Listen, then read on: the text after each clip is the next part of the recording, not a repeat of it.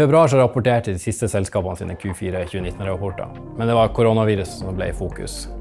Måneden generelt ble jo en ganske volatil måned, der eh, vi starta ganske kraftig opp etter markedet reverserte kursfallet vi så i slutten av januar. Dette skyldtes mest sannsynlig av at eh, flere trodde at dette skulle bli kun et Kina-fenomen. Men når vi begynte å se utbruddet i Nord-Italia og resten av den vestlige verden, så, så var jo frykten reell i markedet. Og til slutt så endte vi jo ned over 10 hittil i år, og det er jo en korreksjon. Når vi ser på markedet i dag, så er det jo viktig å huske på hvor vi kommer ifra. Eh, vi hadde et ganske kraftig marked i fjor høst, og eh, det var drevet av økte vekstforventninger i økonomien. Men nå som vi har fått et virusutbrudd og økonomien faller, så er det mindre sannsynlig at vi kommer til å få vekst i økonomien.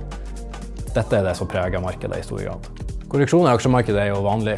Eh, det skjer fra tid til annen, og den siste vi hadde var i Q4 2018, da markedet var ned nesten 20 Vi vet jo ikke hvordan koronaviruset blir å ta økonomien eller ikke, men som langsiktige investorer så er vi opptatt av inntjeningsutviklinga over tid. Vi kjenner jo våre enkeltselskaper godt og prøver å se etter muligheter der det kan oppstå.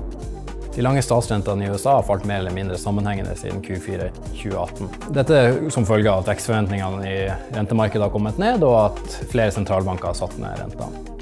Rentene var noe opp i fjor høst når vi så en kraftig optimisme i markedet, men de er nå ned igjen til det laveste vi har sett i vår statistikk. i alle fall. Dette skyldes nok at rentemarkedet forventer lavere vekst i økonomien. Vi ser jo også at styringsrentene har blitt kutta eh, flere steder som følge av dette. Lavere økonomisk aktivitet slår spesielt uheldig ut for oljemarkedet. For her var det allerede en ganske svak markedsbalanse. Dette skyldes av at produksjonsveksten var raskere enn etterspørselsveksten. Dette har jo ført til at oljeprisen har falt fra 70 til 50 dollar per fat.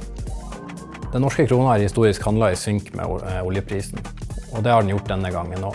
Faktisk har den falt litt mer enn det oljeprisen skulle tilsi i februar. Det er jo positivt for en del produksjonsbedrifter her i Norge som eksporterer sine varer, og det øker jo den konkurransekrafta til den norske økonomien. I Norden så har det vært stor spredning mellom sektorene hittil i år. På vinnersiden har vi eiendom, forsyning og helse som har egentlig gjort det ganske bra. Det er jo når vi ser historisk òg at investorene flokker til mer stabile sektorer når ting er litt usikkert der ute. Det er jo selskaper som Entra her i Norge og, eh, og Scatec Solar f.eks. som har gjort det bra. Det er verdt å ha med seg at uh, det gikk jo best i fjor høst, når optimismen var som på sitt beste. På tapersiden så finner vi jo oljeserviceaksjer, f.eks. Uh, Bård Drilling.